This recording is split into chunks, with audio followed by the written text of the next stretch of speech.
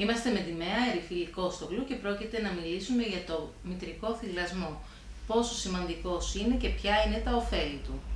Το μητρικό γάλα είναι η ιδανική τροφή για όλα τα βρέφη.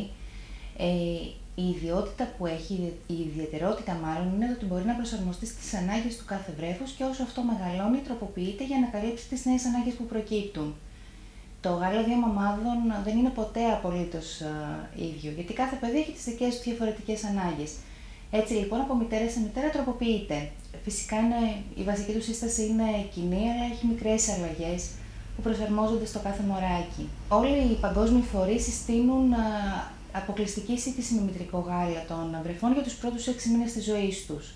Ουσιαστικά είναι το διάστημα στο οποίο συντηρούνται μόνο με γάλα και από εκεί και έπειτα ξεκινάνε οι στερεές τροφές. Το πόσο θα συνεχιστεί μετροποποιείται ανάλογα με την επιθυμία της κάθε γυναίκας. Ε, οι οδηγίες ουσιαστικά ήταν ε, για ένα με δύο χρόνια, τείνουν να αυξηθούν τα χρόνια τα οποία συστήνεται να θυλάζει ένα παιδί, αλλά η κάθε γυναίκα αποφασίζει τι θα κάνει με το δικό της μωράκι. Αυτό ως προς το χρονικό που μπορεί μία μητέρα να θυλάζει, ε, προκύπτει σύμφωνα με ερευνές; Ναι, Υπάρχουν μελέτες οι οποίες δείχνουν κατά πόσο συνεχίζει να είναι θρεπτική επιλογή για τα μωράκια, οπότε σύμφωνα με αυτές πορευόμαστε. Οι μητέρες τι θα πρέπει να προσέχουν ως προς την πρόσληψη τροφών, γιατί αυτές επηρεάζουν νομίζω τη σύσταση του γάλακτος. Ε, ουσιαστικά δεν υπάρχουν τροφές που μια γυναίκα δεν μπορεί να καταναλώσει κατά τη διάρκεια του θυλασμού πέρα από το αλκοόλ, που προφανώς δεν αποτελεί επιλογή, ή θα μπορούσε να αποτελέσει υπό συγκεκριμένε προποθέσει όσο το μωράκι μεγαλώνει και αραιώνουν τα γεύματά του.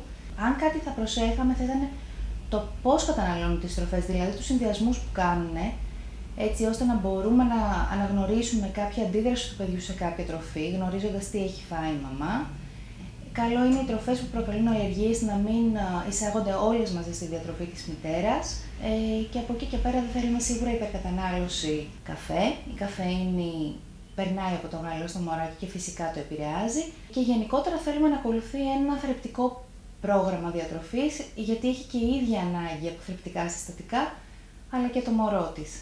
Όχι junk food λοιπόν, όχι τροφές αναψυκτικά με πολλά συντηρητικά, όσο πιο υγιεινή διατροφή γίνεται. Υπάρχουν κάποιες συνήθειες κατά τη διάρκεια του θυλασμού τις οποίες θα πρέπει να διακόψει η μητέρα, όπως για παράδειγμα το κάπνισμα; Ε, σίγουρα το κάπνισμα δεν είναι ασφαλές κατά την περίοδο του θυλασμού, δεδομένου ότι η νοικοτήνη περνάει μέσα από το γάλιο στο μωράκι ε, είναι λοιπόν σημαντικό η γυναίκα να διακόψει το κάπνισμα από την αρχή της εγκυμοσύνης. Ε, Παρ' όλα αυτά θα είναι πιο επιζήμιο για το μωρό να μην θυλάσει καθόλου. Αν δεν μπορεί να το διακόψει τελείως, θα ήταν πολύ σημαντικό να το περιορίσει στο όσο το δυνατόν πιο λίγο γίνεται και να είναι μακριά από γεύματα.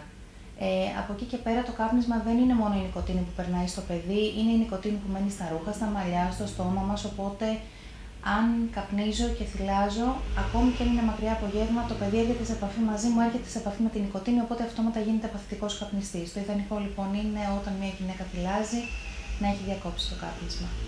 Εκτός από τη θρεπτική αξία που έχει το μητρικό γάλα, ε, ο θυλασμός επηρεάζει ψυχολογικά το βρέφος; Σίγουρα. Το επηρεάζει και επηρεάζει πάρα πολύ το δεσμό που έχει με τη μαμά.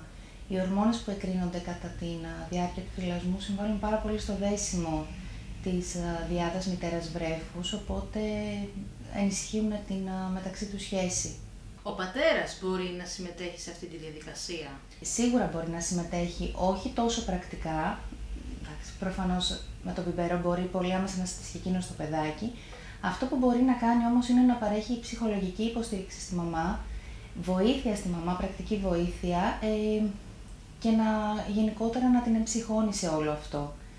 Είναι πολύ σημαντικό να είναι και εκείνος ενημερωμένος για το πώς γίνεται φυσιολογικά η όλη διαδικασία, έτσι ώστε να μπορεί να κατανοήσει το οτιδήποτε συμβαίνει ε, κατά τη διάρκεια του θυλασμού και να μπορεί να υποστηρίξει ε, και τη μαμά αλλά και το μωράκι.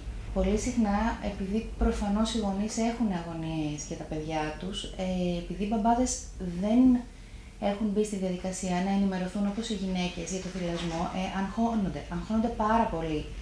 με το πόσο τρώει το μωρό, αν τρώει επαρκώς, δεν μπορούν να αξιολογήσουν αν γίνεται σωστά η διαδικασία και λειτουργεί λίγο αντίθετα όλο αυτό, γιατί αγχώνει και τη μαμά πολύ περισσότερο, είναι και πιο ευαίσθητη λόγω των ορμονών, άρα πιο επιρρεπής στο να επηρεαστεί από οτιδήποτε αρνητικό ακούσει.